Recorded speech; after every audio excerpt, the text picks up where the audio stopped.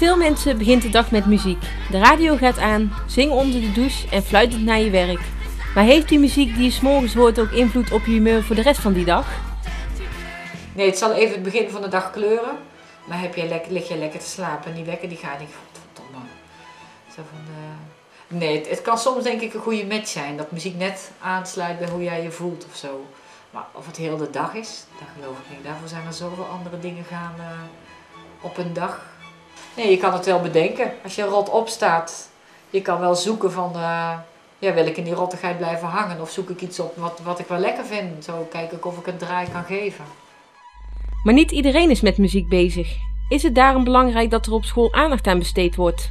Ik vind het belangrijk dat je het op zijn minst aanbiedt. Zo van die taal, die wereld is er ook. En zeker met muziek, want dat zit zo in zo ontzettend veel dingen. Nou, wat jullie zelf al schreven, hè, van in winkels en, Ja. en in reclame. En TV. het wordt aan alle kanten. Muziek is gewoon ook al ontzettend oud als communicatiemiddel. Dus het, dus het, is, ja, het, is, het is een echt heel oud middel. Het is een, een heel natuurlijk middel. Eh, ritme is heel natuurlijk. Eh, harmonie is heel natuurlijk. Als je gewoon ook in, de natuurkunde kijkt, zo van hoeveel dingen niet in harmonie of in evenwicht zijn opgebouwd. Dus, dus in die zin is het iets, iets heel natuurlijks wat er eigenlijk bij hoort. is alleen weer de kunst van hoe, ja, hoe bied je het aan.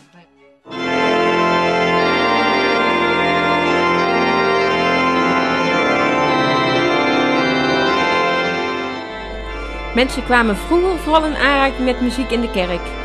Koor en orgel maakten een belangrijk deel uit van de mis. Nou, ik ben hier begonnen als eh misdienaar. En eh, toen ik hier of zeven was, en toen zag ik dat grote ding hier staan. Ik dacht van, zo, dat wil ik toch wel eens wat leren spelen. Dus eh zodoende een keertje aan de organist gevraagd of ik wat mocht doen. Ik had er al wel een klein beetje gevoel voor, dus nou, zodoende ben ik steeds verder gegroeid. Ging wat repetities spelen met het koor en eh, af en toe viel ik eens een keer in voor die oude man. En eh, ja, zodoende is dat gegroeid tot wat het nu is.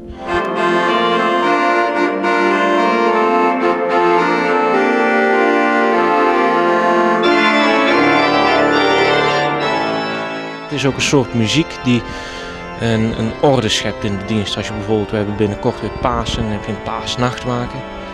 En dan speel je muziek en de muziek in de nachtwaken leidt de hele dienst. Leidt de mensen door wat het mysterie van Pasen is. Want het heeft ook heel veel te maken met wat er zich liturgisch in de kerk afspeelt. Welke verhalen er verteld worden. En, eh, ja, dat is gewoon zo mooi, die hele verbinding met elkaar. Alles, staat met elkaar in verband. Ook de muziek. Je, en je raakt er mensen mee tijdens een dienst. Je raakt zo geïnspireerd. Ze bidden, ze zingen. Dat is mooi.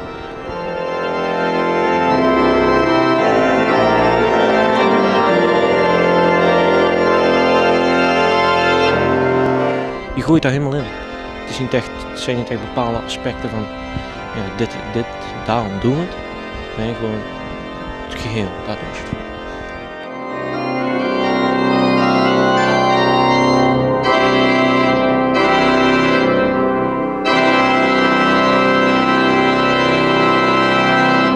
Nu hebben koren vaak een andere functie gekregen. Dus het is eigenlijk meer voor de gezelligheid. Ehm, ja, voor de gezelligheid. Want eh, ja, heel veel vriendinnen, vrienden eh, zitten ook eh, bij dat koor. En ja, we praten de week zo bij. En we hebben het over onze kinderen en over ons werk. Dat is gewoon heel gezellig. Maar ook, ik vind het toch ook wel leuk om samen te zingen. En om samen af en toe iets te brengen. uren langzaam wakker worden, zweven door.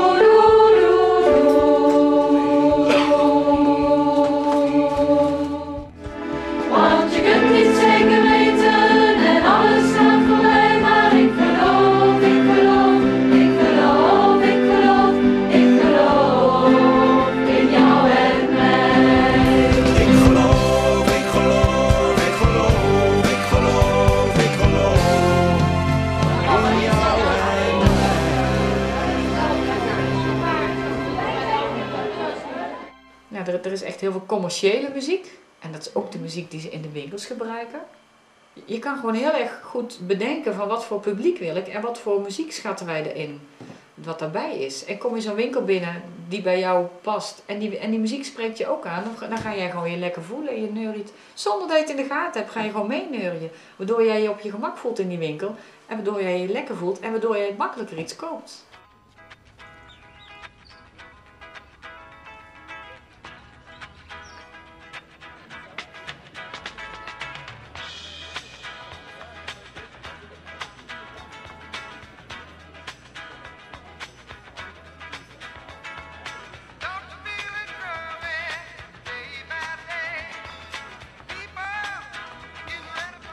Waarom staat er muziek op in de Live Garden?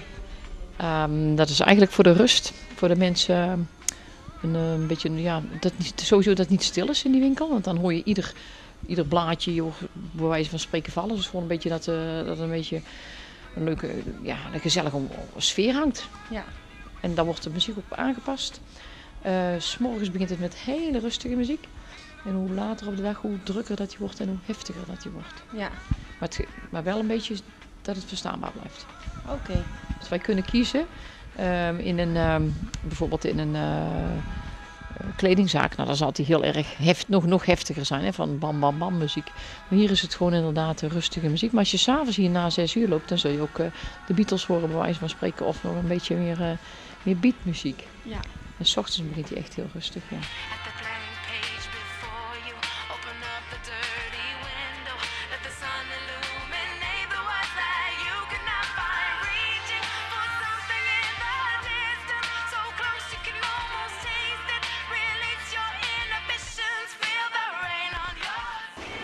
Vind jij van de muziek in deze zaak? Ik vind het heerlijke muziek. Ik vind het, het stimuleert ons eh, tot eh, tandje bij. En eh, ook de klanten die zal het, hoop ik, ook beïnvloeden.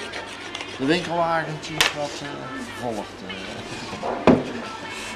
Daar gaat het allemaal om. daar gaat het eigenlijk allemaal om thuis. Dat ze op een relaxte manier natuurlijk hun eh, boodschapjes kunnen doen bij Live England.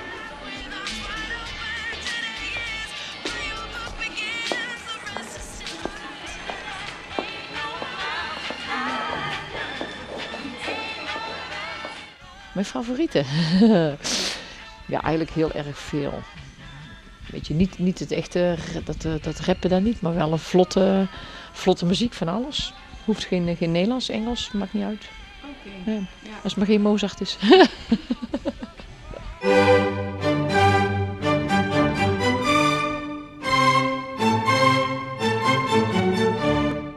Waarom hebben zoveel mensen een hekel aan klassieke muziek?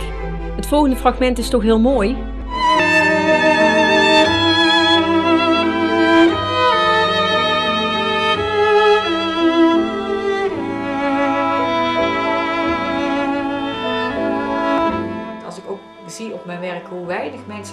Muziek kunnen luisteren, hoe ze het gewoon nauwelijks kunnen verdragen om, eh, om zich ervoor open te stellen. Heel veel mensen hebben daar een hele akelige, saaie, muffe eh, associatie bij. Dus ik, ik, ik heb best veel klassieke muziek in mijn eh, collectie zitten op het werk, maar ik kan er maar heel weinig mee, mee werken, omdat mensen, hebben zoiets van, ja dag, daar gaan we niet naar luisteren hoor. Zonder dat, je hoeft het niet mooi te vinden, je hoeft er ook niks aan te kopen voor mij, maar probeer gewoon eens te, te luisteren zonder oordeel. En dat ze dan ook merken van, oh ja, Vivaldi, dat, dat, nou, daar word ik een beetje vrolijk van. Of kijk, van die hele zware Bachmuziek, ja, mensen, raakt veel eerder het verdriet bijvoorbeeld.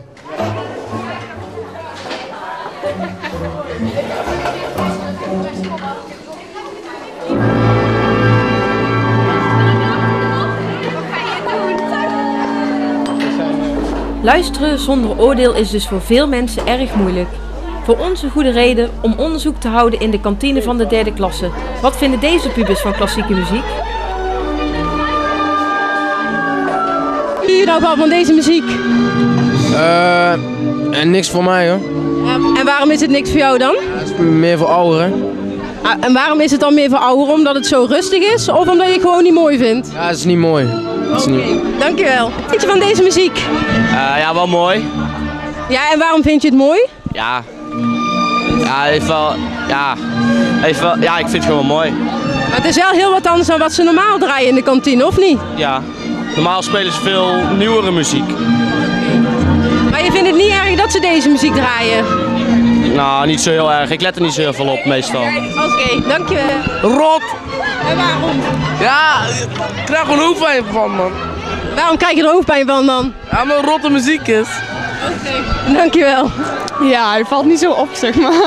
Oké, en luister je liever naar deze muziek of heb je liever toch dat er iets meer van de top 40 of zo op staat in de kantine? Eh, iets van de top 40 vind ik wel leuker. Ja, ja. Oké, dankjewel.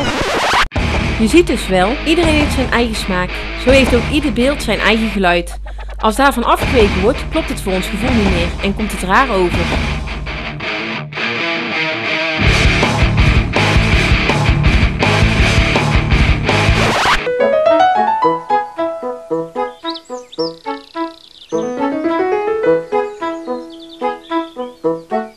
Música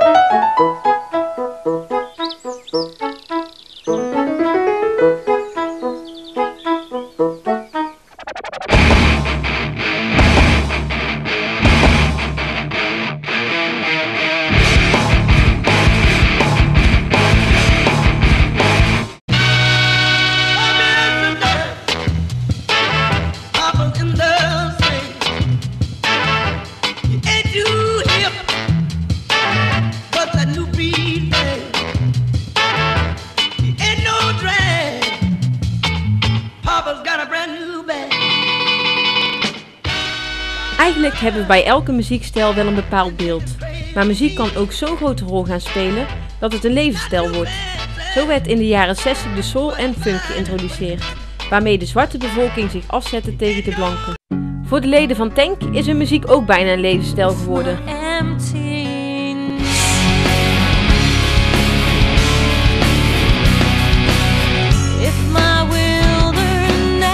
Ja, hier in Nederland zie je momenteel hoewel die tendens ook wel weer gaat veranderen van ja, het, eh, het korte product van eh, ja, de idols en eh, al dat soort figuren waar de ja, commercie gewoon omheen is van snel scoren. En kijk, vroeger in de jaren tachtig, als je dan na je derde plaat succes had, dan, dan had je het goed gedaan. En nu moet gewoon plaat 1 moet minimaal goud zijn, anders kun je gewoon verkassen, zeg maar. Dus is gewoon, ja, de wereld is gewoon anders geworden. Ik, ik vind het belangrijk omdat ik zelf, eh, mijn ouders die zijn er eigenlijk helemaal niet mee opgegroeid met muziek. En die deden er eigenlijk ook niks aan. Dus ik was echt heel eh, echt een vreemde eend in de bijt. Dus dan moet je echt vanuit het niks moet je, eh, wordt je de muziek instappen. En dat is best moeilijk. Dus als je daar al vanuit thuis gestimuleerd wordt, als je dat leuk vindt, lijkt me dat al, of vanuit school, dat dat veel makkelijker is, denk ik.